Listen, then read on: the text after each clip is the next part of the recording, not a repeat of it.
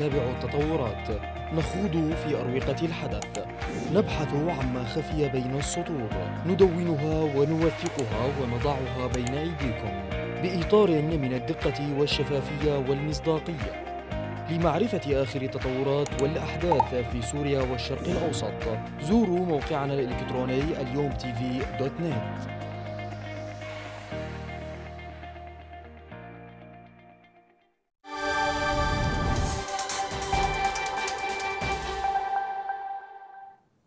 أهلا بكم مشاهدينا من جديد دعونا نفتح الملف الأبرز للنقاش لحلقتنا لليلة. اختتمت في جنيف سلسلة من الاجتماعات الدولية حول تشكيل اللجنة الدستورية السورية التي عقدها المبعوث الأممي الخاص إلى سوريا ستيفان دي مستورا مع دول مجموعة العمل المصغرة دون التوصل لاتفاق نهائي.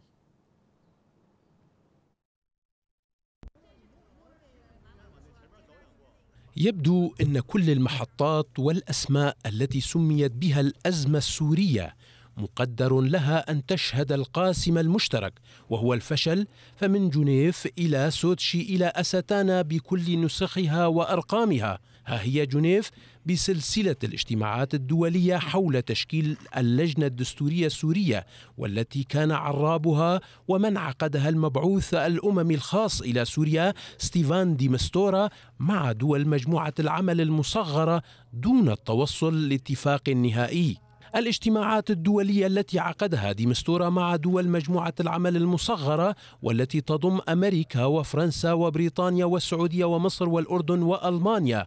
انتهت دون التوصل لاتفاق حول تشكيل اللجنة الدستورية السورية.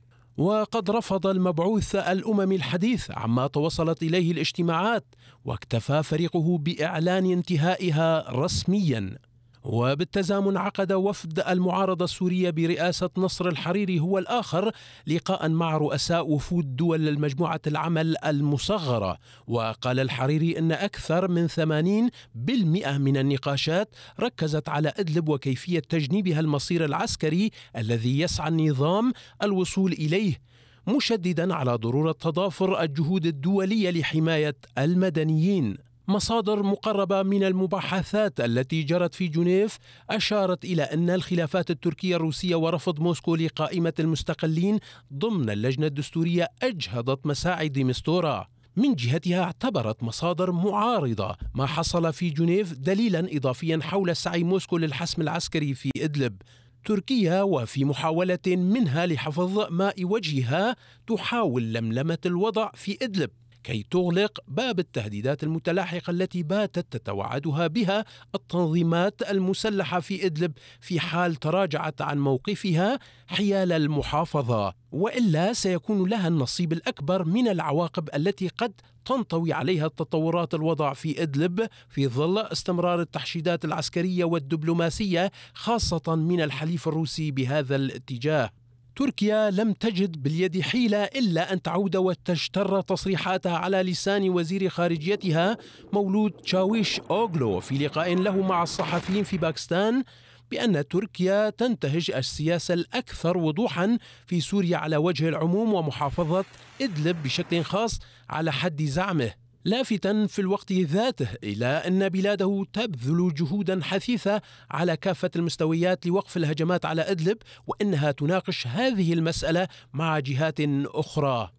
واستطرد قائلا يوم الاثنين المقبل سيعقد الرئيس أردوغان لقاء آخر مع بوتين وسنواصل جهودنا في الأمم المتحدة حسب قوله زاعما أن الجهود التركية تتلقى دعما دوليا ملحوظا. في السياق أكد من جانبه المتحدث باسم الرئاسة الروسية ديمتري بيسكوف في معرض إجابته عن سؤال لأحد الصحفيين حول إمكانية لقاء الزعيمين في سوتشي الاثنين المقبل مضيفا حول اللقاء أجل هذا اللقاء ممكن ويجري الإعداد له حاليا. وتبقى الإجابة رهنا لزمن حول النوايا الحقيقية لأردوغان وبوتين وولاءاتهم العسكرية لرسم مصير الملف السوري بكل تداخلاته وتعقيداته.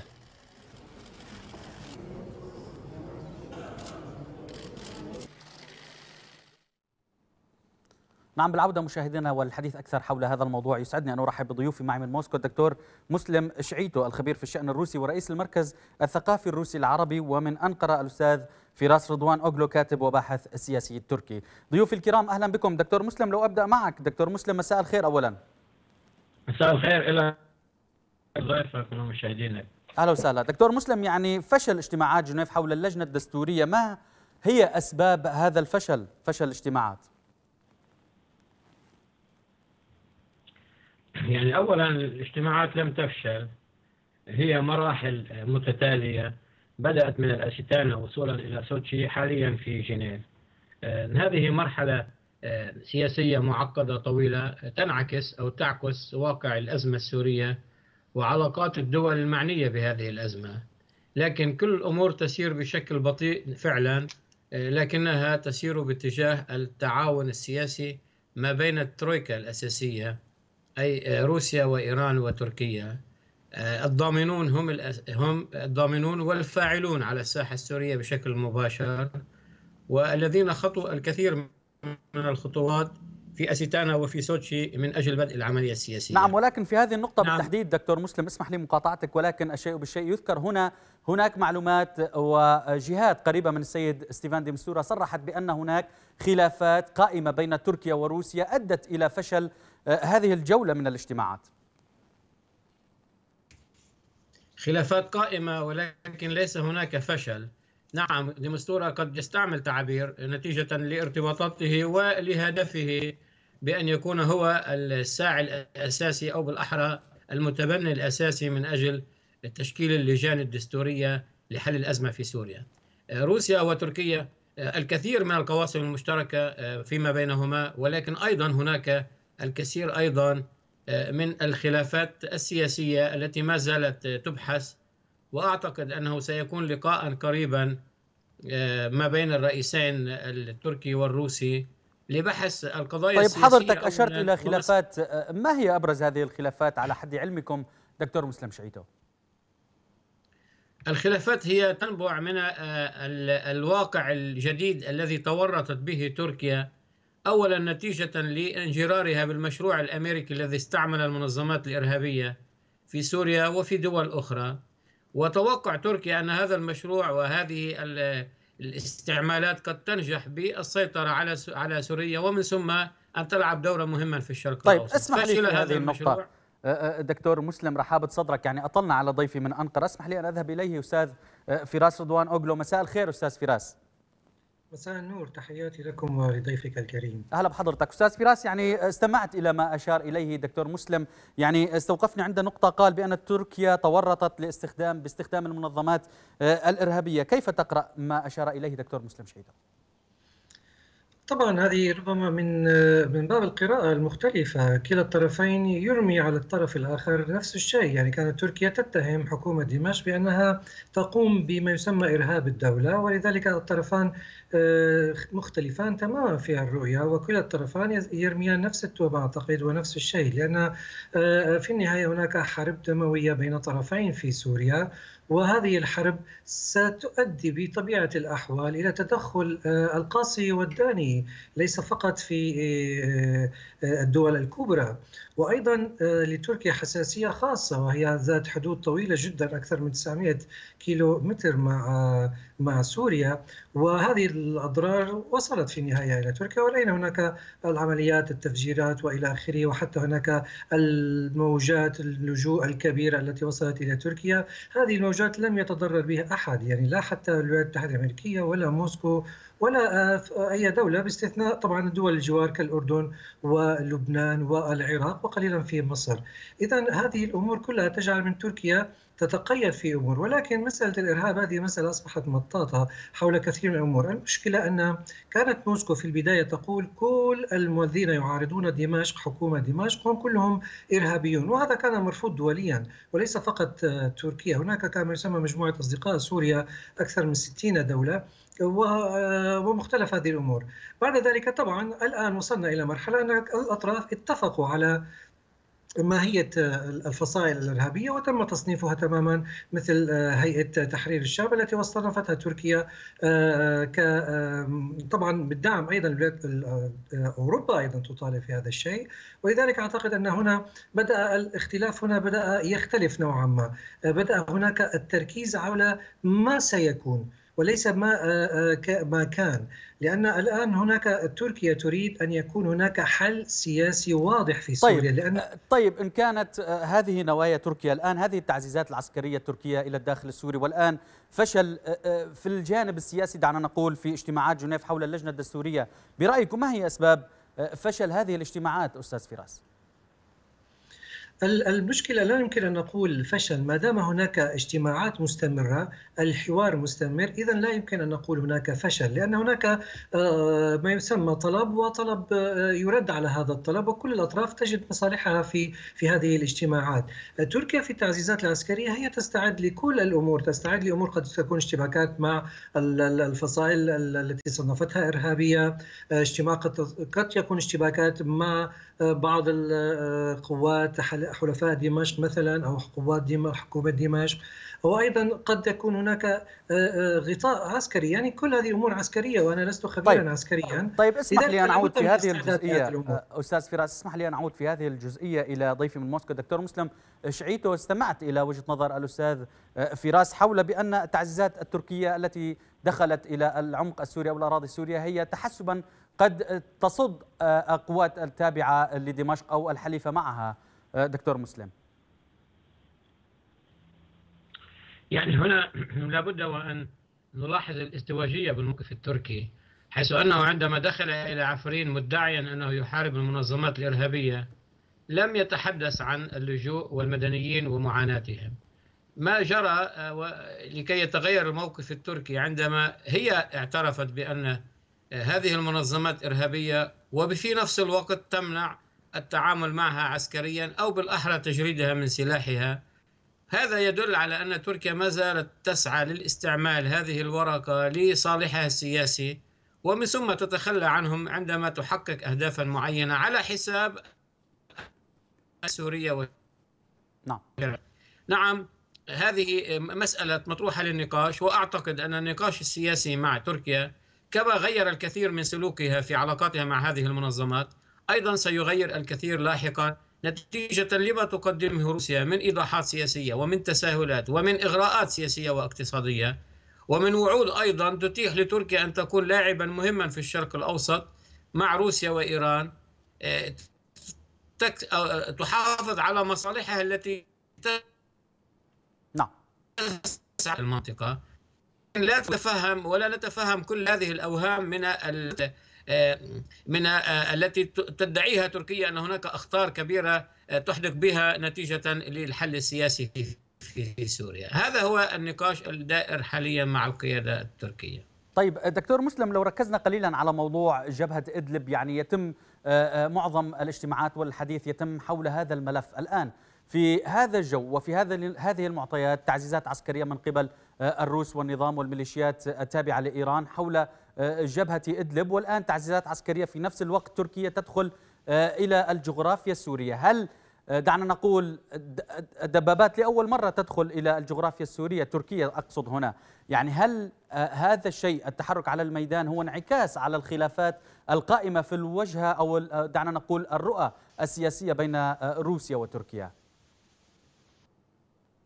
نعم دكتور مسلم. النظر ما نعم. بين روسيا وتركيا ولكن ليس هناك خلاف سيصل إلى صراع عسكري ما بين تركيا وروسيا أو تركيا والنظام الشرعي في سوريا تركيا تحاول من خلال التغيرات الجغرافية العسكرية فرض واقع سياسي جديد لأنها تنطلق من أن موازين القوى تحددها موازين القوى على الأرض تحديدا. وهذا ما تسعى إليه تركيا. أعتقد أنه آه، يعني محاولة ليست ناجحة لأن القرار قد اتخذ نعم. بالتخلص من هذه المنظمات الإرهابية في منطقة إدلب. نعم.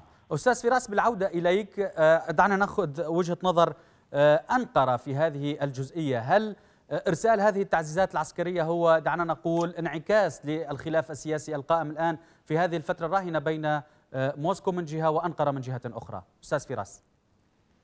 نعم هذا صحيح. أعتقد أن هذا الأمر الواقع الخلاف الذي دب بين موسكو في هذه في هذه النقطة يعني وليس في نقاط متعددة لكن في هذه النقطة هناك خلاف بين موسكو وأنقرة. ولذلك ربما بدأت التعزيزات أكثر بالنسبة لتركيا لأن آه، كل الكلام الذي كان آه، موصوفا بما يسمى اجتماعات أستانا وبعد سوتشي وطارانية آه، هناك كانت اتفاقات محددة وواضحة. ولذلك الآن هناك ترى تركيا أن روسيا إذا زادت في هذه الأمور هي تتغير عن روح أستانا والاتفاقات التي حصلت في أستانا. ولذلك هناك إذا انقلاب على هذا الموضوع وهذا أعتقد أن تركيا ما لا ترحب به. إضافة إلى نقطة أخرى هناك دعم أوروبي ودعم أمريكي أيضا في هذه النقطة لأن يعلمون تماما أن آه، هنا ستصبح حساسية كبيرة جدا لأن تركيا تعتبر أن اصبحت إدلب لم تحل بشكل سياسي واضح ضمن احترام مصالحها ونفوذها. هذا سيؤدي إلى تهديد الأمن القومي التركي وهذا أعتقد لن تسمح به تركيا. هذا سيشعل ربما منطقة أكثر ولذلك لابد ربما من نقطتين. النقطة الأولى إيجاد دعم سياسي قوي هذا سيضغط على موسكو وسيضغط على حلفائها أيضا وأيضا استخدام آه، العلاقات الطيبة والجيدة بين أردوغان وبوتين في في هذه السياق لإيجاد حل أعتقد يرضي كلا الطرفين وهذا وارد أعتقد في في ربما يكون في الاجتماع يوم الاثنين. طيب أستاذ فراس يعني موسكو تقول بأن أنقرة فشلت في المهام الموكلة إليها وهنا أتحدث عن آه، آه، قيامها بإقناع فك جبهة النصرة لنفسها و الانخراط دعنا نقول في آه، آه، فصائل أخرى تركيا لها الموانة واليد العليا فيها. آه، تركيا لا تحتاج لرأي أحد. هذا من الناحية الإعلامية. يعني هنا ضد اسمه الضغط الإعلامي من قبل. موسكو تقول ما تشاء وزير الخارجية أو الإعلام الروسي أو أو أحد من السادة الوزراء أو البرلمانيين يقولون هذا من الناحية الإعلامية. لكن من الناحية العملية تركيا تنظر إلى مصالحها. هناك فئة إرهابية مصنفة عالميا ارهابيا اذا فهي إرهابية. أما الفئات الأخرى التي لم تصنف دوليا إرهابيا فلا يستطيع لا موسكو ولا حتى أحد أن يقول على تركيا عليك هذا أو حتى إعطاء مهل يعني تركيا ليست دولة صغيرة. تركيا تستطيع أن أن تغير اللعبة في في في دمشق لو لو أرادت. ولكن ولذلك قال السيد بوتين في في اجتماع طهران نشكر تركيا على أنها كانت مساعدة جدا في في إعادة الدولة بشكل عام. والاستقرار في كثير من المناطق. ولكن النقطة التي تأخذها تركيا على موسكو في هذه النقطة هو لماذا أنتم سمحتم لكثير من هؤلاء العناصر الذين كانوا متواجدون في الجنوب وفي أعتقد في جنوب في حول دمشق وإلى آخره وأنتم سمحتم لهم بالخروج في هدن أو مصالحات. وهذا أعتقد كان كلام شغل واضح في هذه النقطة. هل تريدون إذهابهم طيب. إلى تلك المنطقة؟ لماذا لم تقوموا نعم. بالإجراءات القانونية معهم؟ يعني أستاذ فراس وكأنك آه، هنا تريد إرسال آه، سؤال إلى ضيفي من موسكو. دكتور مسلم شعيته تعقيب منك دكتور مسلم. نعم آه، كان ما بالتحديدا ما جرى من نقل هذه المنظمات إلى منطقة شمال سوريا إدلب هو باتفاق مع القيادة التركية التي كانت تعد تماما أنها ستتخلص منهم بطرق سياسية أو طرق أمنية معينة. يعاد الغرباء إلى بلادهم عبر محاكمتهم في تركيا أولا. وأيضا ما تعترف به تركيا إرهابيا يجب أن يجرد من السلاح ويسلم سلاحه وأيضا يحاكم في بلاده. هذا هو الاتفاق الذي كان معقودا مع تركيا. أن تلتزم بالتخلص من هذه المنظمات الإرهابية تحديدا. لكن تركيا ما زالت تحاول استعمال كل هذا الواقع العسكري من أجل آه، آه، آه، إشباع ما, ما تعتبره هو هاجس عندها المكون الكردي. تتخوف من أن السلطة الشرعية السورية ستنقل أو ستتيح للمكون الكردي أن ينتشر على كل الحدود الشمالية. وهذا ادعاء تحاول استعماله تركيا لأنه يهدد أمنها. مع أن ذلك ليس صحيحا لأن المكون الكردي هو أساسي هنا حصلت على عفرين بالمقابل.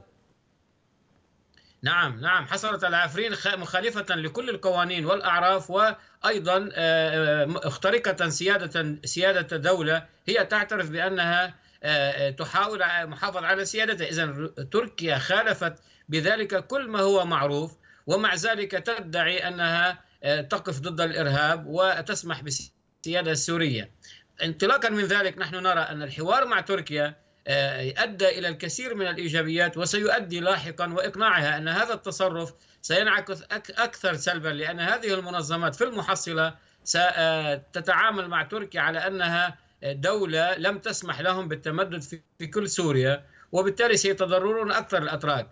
ليس على تركيا إلا الانضمام إلى ما تم الاتفاق عليه في الأسيتانا بالحفاظ على وحدة سوريا وسيادتها على كل أراضيها وتمدد الجيش السرعي في كل الأراضي السورية دون استثناء.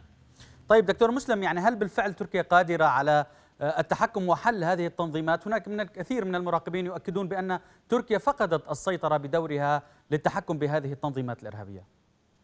نحن نعتقد لتركيا الكثير من القدرة خاصة أن هذه المنظمات تتمول وتتدرب وتتسلح عبر طريقين لا ثالث لهما إما عبر القوات الأمريكية الموجودة في شمال شرق سوريا أو عبر الأراضي التركية. إذا كانت تركيا فعلا صادقة ستغلق أحد البوابات المهمة عليهم ويبقى فقط التعامل مع المكون الأمريكي الذي احتل جزء من سوريا ويحاول استعمالها من أجل دعم هذه المنظمات الإرهابية. وتركيا تستطيع أن تضغط لأنها حلف آه، هي العامل الأساسي أو بالأحرى القوة الأساسية في الشرق الأوسط آه، للناتو الذي تتزعمه الولايات المتحدة. نعم أستاذ فراس بالعودة إليك يعني حقيقة آه، بعد كل ما أشار إليه دكتور مسلم حقيقة هناك يعني حتى هذه الفئة الإرهابية التي أشرت حضرتك إليها تركيا دائما مضطرة لأخذ إذنها للوصول إلى نقاط المراقبة في ريفي حلب وحما أستاذ فراس. لا أعتقد ذلك يعني تركيا آه، هي لديها أسلوبها الخاص هي ليست مضطرة إلى دخول في اشتباكات آه، عسكرية الآن لأنها هناك أمور متعددة أكثر يعني في تركيا ثلاثة ملايين ونصف آه، سوري هذا ليس موجود في موسكو الحدود الحرب على حدود تركيا وهذا ليس موجود أيضا في موسكو. هناك أيضا آه، حركات انطلقت إرهابية من سوريا باتجاه آه، تركيا وقامت بالكثير من العمليات القاسية جدا وهذا لم يكن موجودا أيضا في موسكو إذا هناك ترتيبات خاصة بالنسبة لتركيا. الأمنية أولا بعد ذلك أمور عسكرية مختلفة تماما. ولكن كل هذه الأمور لا يمكن لتركيا أن تقوم آه، دون ضمانات متعددة. تركيا ليست دولة جمعية خيرية.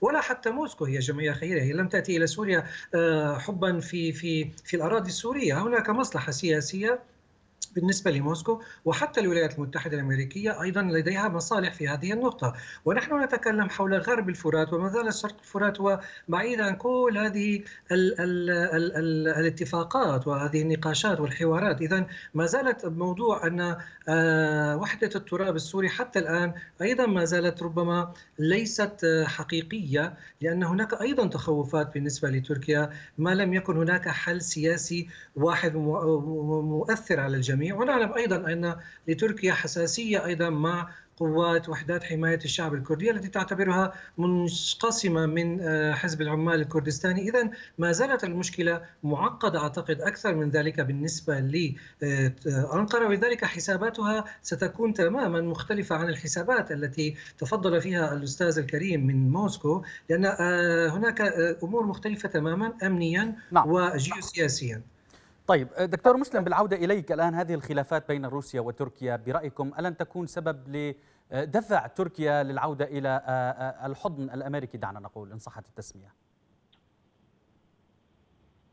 لا أعتقد. القيادة التركية ليست قيادة طارئة إنها تنطلق من الكثير من المعطيات خاصة وأن الولايات المتحدة كانت وراء محاولة الانقلاب الفاشلة. الولايات المتحدة كانت وما زالت هي تحاول توريط تركيا بأزمة سوريا عبر تمرير من حدودها وعلى القواعد الأمريكية. القيادة التركية تعرف تماما الولايات المتحدة تحاول بناء مكون في منطقة شمال شرق سوريا لاستعماله ضد تركيا كما لاستعماله ضد الدول المجاورة.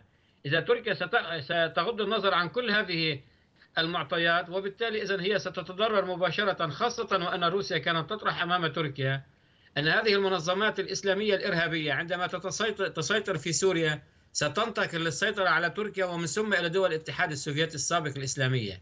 إذا أمام وقائع تركيا تعرفها تماما لكنها تركيا أيضا تعمل سياسيا من أجل الاستفادة من هذا الواقع أي مقايضة المنظمات الإرهابية آه، آه، مع ما يحدث في شمال شرق سوريا على أن تتبنى السلطة السورية الشرعية الموقف التركي بالنسبة للمكون الكردي. وأعتقد هذا لن يحصل لأن الأكراد هم جزء أساسي من الشعب السوري ومن الدولة السورية.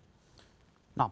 أستاذ فراس بالعودة إليك يعني هناك الكثير من المراقبين يقولون بأن هناك اتفاق بالفعل تم بين تركيا وروسيا. وما يحدث الآن هو مجرد دعنا نقول متاهة إعلامية لا غير.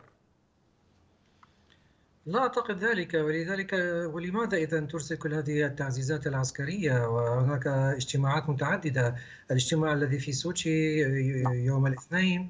إذا هناك هناك بعض التفاصيل التي آه، أيضا مختلف عليها بين بين كلا الطرفين. لا أعتقد هناك تفاصيل كثيرة جدا.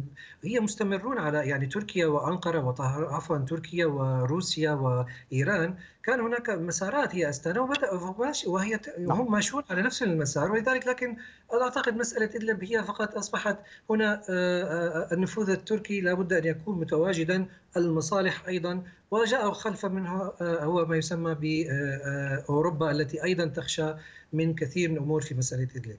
نعم بهذا نصل مشاهدينا وإياكم وضيوفي إلى نهاية حلقتنا اليوم. من الطاوله المستديره ولسعينا ان اشكر ضيوفي. كان معي من موسكو الدكتور مسلم شعيتو الخبير في الشأن الروسي ورئيس المركز الثقافي الروسي العربي. ومن أنقرة أستاذ فراس رضوان أوغلو كاتب وباحث سياسي. شكرا لكم ضيوفي على كل ما تفضلتم به وشكر لكم وصول مشاهدينا عطيب وحسن. كرم بعد دمتم بخير وإلى اللقاء.